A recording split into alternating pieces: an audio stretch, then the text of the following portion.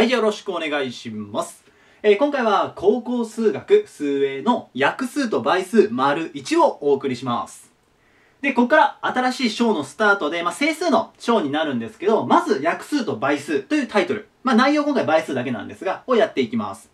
で、ポイントちょっと説明させてください。これちょっとわかりにくいと思うので。これですね、ある整数があります。数が。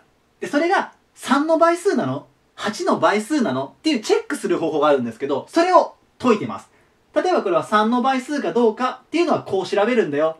8の倍数かどうかこう調べるんだよ。だと思って解いてください。で、下も含めて全部で6問ありますので、できそうな子はね、ぜひ動画を止めてやってみてください。で、確認してもらってちょっとわかんないのがあれば、今からね、自分の方が全部やっていきますんで、聞いてもらえたらと思います。いいかな？じゃあ、早速ね、まずポイントの方からやっていきますので、どうぞよろしくお願いします。よし、じゃあ行きましょう。では、さっき言ったね、えっと、その倍数なのっていうチェックする方法です。で、本当は、まあ、この下の問題にはあるんですけど、2の倍数か、5の倍数かってのもあるんですけど、問題にしてないです。そこはちょっと口頭で、口で説明します。すぐわかるんで、それはね。で、まず、3からいこうか。これは、各位の数のほにゃららがほにゃららの倍数になってれば OK なんです。で、これは先にね、書いちゃいましょう。各位の数の和が3の倍数になってればいいと。例えば、えーとまあ、これちょっと問題になってるんで使えないですけど、じゃあどうしようかな。えっ、ー、と、こうしようか。5103。これ3の倍数ですかってすぐ言われて、まあ、パッと出てくる人もいるだろうけどね。これね、3の倍数なんですよ。で、なんですぐわかるかっていうと、これ、各位の数、5103ってあるでしょこれ全部足します。まあ、イメージ、まあ、5たす1たす0たす3で OK。そうするとこれ9なんですよね。9。で、9っていうこの数字が3の倍数になってる。だから、この5103は3の倍数なんですってチェックができます。こうやってやるんです。で、ちょっと飛ばして9いきます、先に。それ9の倍数なのっていう。で、これもですね、同じなんです、3と。各位の数の、これも和ですね。和が9の倍数になってれば、その数は9の倍数なんです。だから、今回これ、足したら9だったでしょ？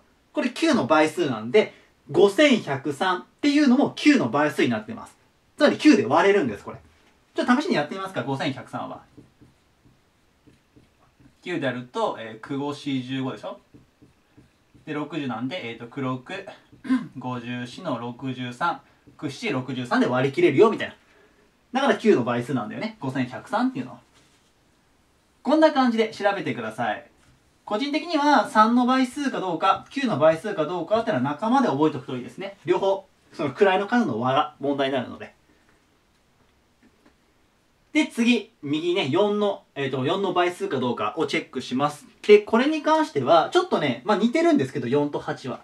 4は、下2桁が、4の倍数かどうかを見てください。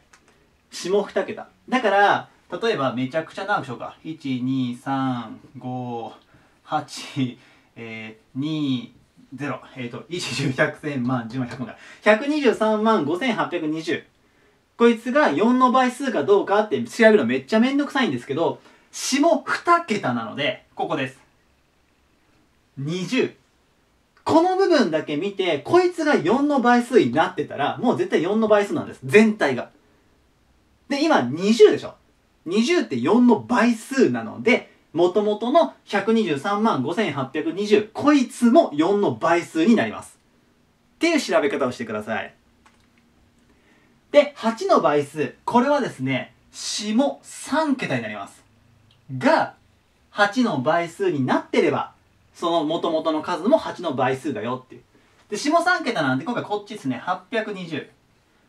で、これ8の倍数なってません。だから、元々の123万5820は8の倍数じゃないよというふうに調べることができます。で、今回2と5を飛ばしてるんですけど、2の倍数っていうのは、まあ、これもみんな知ってる通り、一番下ですね。ここです、ここ。ここのやつが偶数だったら、0、2、4、6、8ですね。だったら、もう2の倍数です。偶数と2の倍数同じことだからね。で、5の倍数っていうのも同じで、ここが5か0だったらいいんです。だからこれ5の倍数になってるね。なぜなら5の段っていうのは、51が5、5に10、53、15っていう、5、10、あ、ごめん、5、0、5、0なんだよ。一桁目がずっと。だから、これね、この一桁目一番右を見て、それが5か0だったら5の倍数になります。で、ここに書いてる6の倍数は2の倍数っていう条件を満たしてて3の倍数っていう両方の条件を満たしてれば6の倍数っていうことができます。というこの調べ方。まあ、そんなにね、ややこしくはないので覚えておくといいかなと思います。定期テストとかね、ちょろっと出されると、ね、なんか取れないともったいないんで、ここはね。では、それを使って、まず5番ですね。12,564。こいつがさっき言ったやつの中でどの数の倍数か調べていきます。で、まあ、これはちょっと答え書くだけにしちゃいましょう。まず、2です。で、これは、一応ここに書こうか。1、2、5、6、4。2に関しては、ここを見たら OK です。偶数になってます。だから2の倍数は OK ですね。になります。で、ちょっと順番に行かずに行くよ。ここ、5いきますよ。5の倍数じゃねえ、50になってません。だから5の倍数は外れます。ダメですね。で、3の倍数、まあ、9、3の時一緒にいっちゃいましょうか。各位の数を足す必要があるので足します。1たす2たす5たす6たす4ですね。えっと、10なんで、17、18か。位の数が。で、18、ちょっと18丸つけていい？で、これは3の倍数になってます。で、9の倍数にもなってます。9に18だから。ってことは、全体が3の倍数 OK。で、9も OK です。これ各くらいの数足しただけだね。で、今、2の倍数と3の倍数を両方満たした瞬間に6が OK になります。で、こういう感じ。で、4と8いきましょう。4に関しては伸ばします。下2桁なんで64。これ4で割り切れます。4の倍数になってるね。だから、4も OK。で、8はまた伸ばします。ここですね。564。で、これが8の倍数かどうか、ね、ちょっと不安な方は普通に割り算するのがいいです。ちょっとやりましょうか。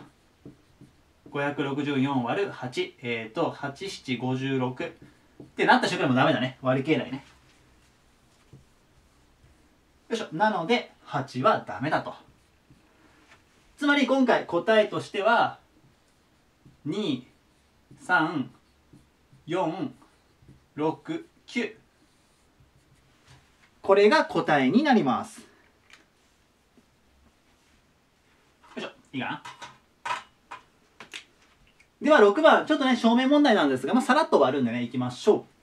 まず A と B これは整数とする。でその時 AB が7の倍数ならば 2a プラス 3b が7の倍数であることを証明しようという問題です。で、このタイプは中2かなの時にやってるんですけど、まず、7の倍数なんです。A と B が。で、文字を使って A イコール、まあ 7M とかにしようか。で、B イコール 7N とする。でもちゃんと書くならあれかな。え、まあ MN 整数とするのがいいと思うんだけど、ちょっとあれ幅的にはしょりますね。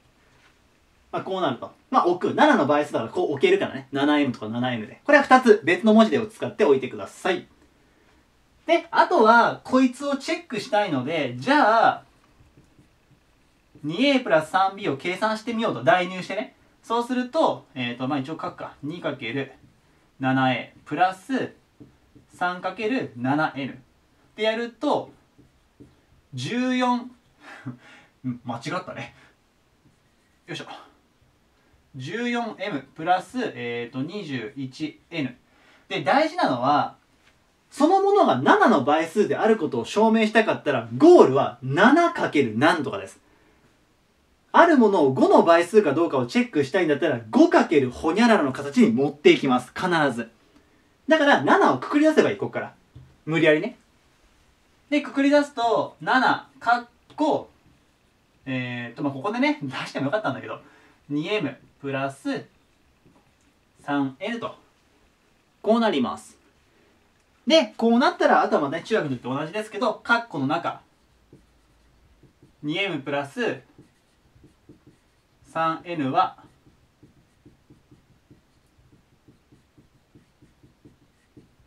整数よりえー、っと入るか。入るかな。